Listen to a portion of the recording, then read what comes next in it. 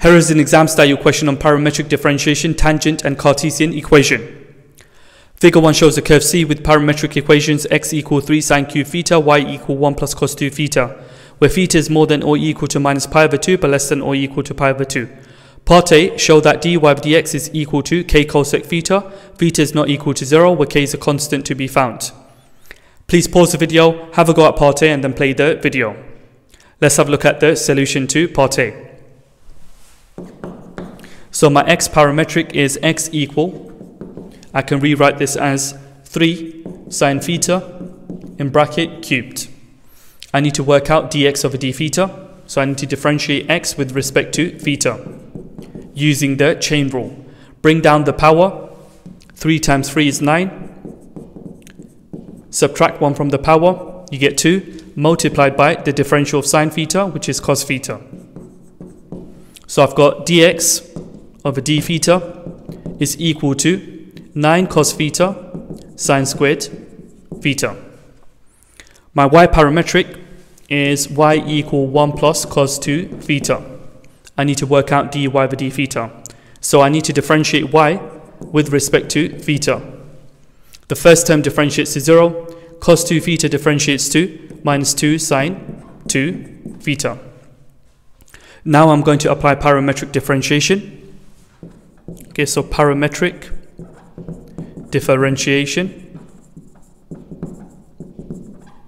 To work out the gradient function dy over dx, I simply do dy over d theta divide by dx over d theta. Okay, so I've got dy over d theta is minus 2 sine 2 theta divide by dx over d theta 9 cos theta sine squared theta. Now I know that sine 2 theta is equal to 2 sine theta cos theta. So I can put 2 sine theta cos theta into the numerator. I get minus 2 multiplied by 2 sine theta cos theta, which is minus 4 sine theta cos theta. All over 9 cos theta sine squared theta. So the cos theta cancels out. This sine theta will cancel one of the sine theta in the denominator. And I've got minus 4 over 9 sine theta. I can split this into minus 4 over 9 multiplied by 1 over sine theta. Nice. Juice. Solid. Okay, so I've got minus 4 over 9 multiplied by 1 over sine theta, which is precisely cosec theta. So, my dy over dx is equal to minus 4 over 9 cosec theta, which is in this particular form, where k is equal to minus 4 over 9. This completes part A of the exam style question. Moving on to part B of the exam style question. The point P lies on C where theta is equal to pi over 6. Find the equation of the tangent to C at P, giving your answer in the form ax plus by plus c equal to 0, where a, b and c are integers. Please pause the video, have a go at part B and then play the video. Let's have a look at the solution to part B. So we are told that at P, on the curve C, theta is equal to pi over 6. To work out the gradient of the tangent to the curve C at the point P, we need to substitute theta equal pi over 6 into the gradient function. Okay, so we need to work out dy over dx when theta is equal to pi over 6. So this would be minus 4 over 9 cosec of pi over 6. Okay, so we can write this into our calculator as minus 4 over 9 sine pi over 6. If I put this into my calculator, I get minus 8 over 9. So the gradient of the tangent to the curve C at the point P, m is equal to minus 8 over 9. Now I need to work out the coordinates of P. To work out the coordinate of P, I need to substitute theta equal pi over 6 into the x parametric and the y parametric. Okay, so when theta is equal pi over 6, x is equal 3 sine pi over 6 cubed. This gives me 3 over 8. y is equal to uh, 1 plus cos 2 times pi over 6.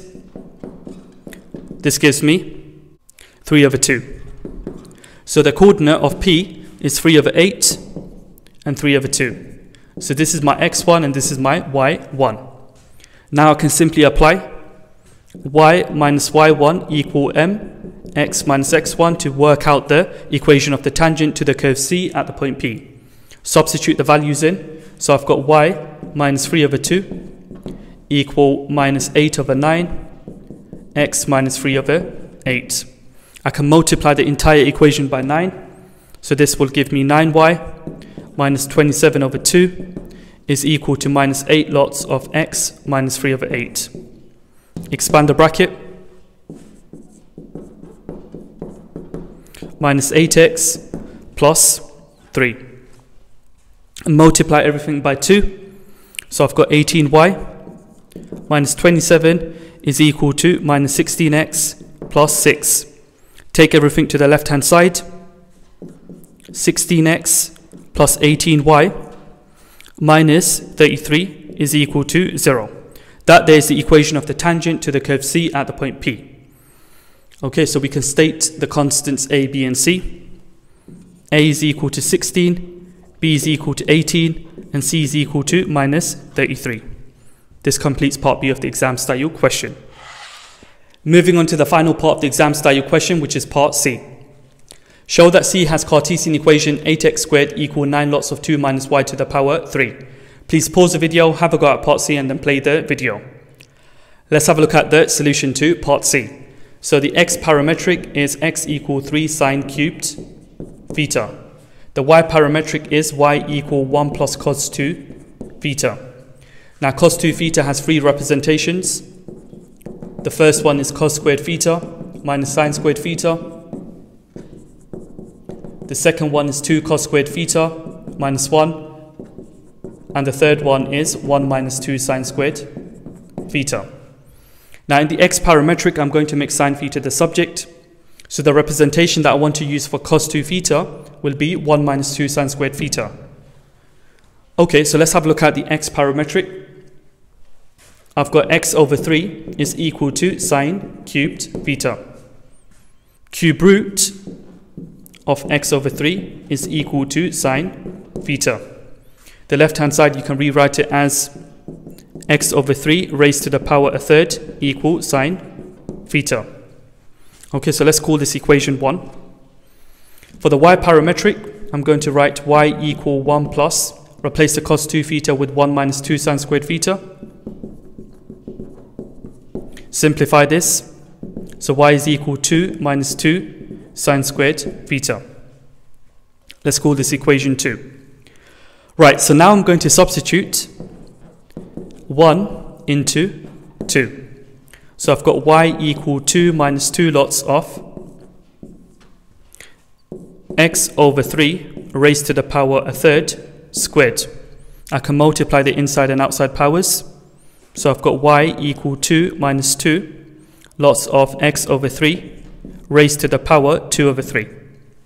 If I go back to my desired form, I need a 2 minus y. So I'm going to have to take this term to the left hand side and that y term to the right hand side. So if I do this, I get 2 lots of x over 3 raised to the power 2 over 3 is equal to 2 minus y. Nice. Juice. Okay.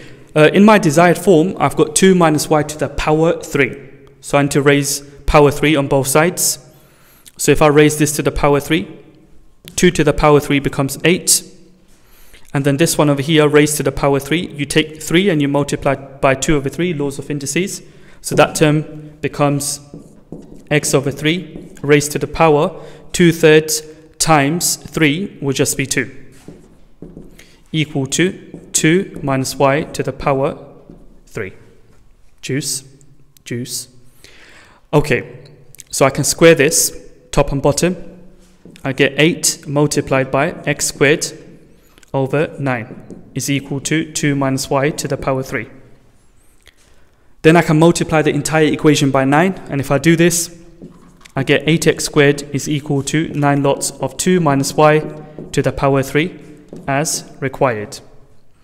This completes part C of the exam style question and this teaching video. If you found it useful, I repeat, if you found it useful, please don't forget to subscribe, leave a like, leave a comment, turn on your notification bell so that you receive notifications every time I post a new teaching video.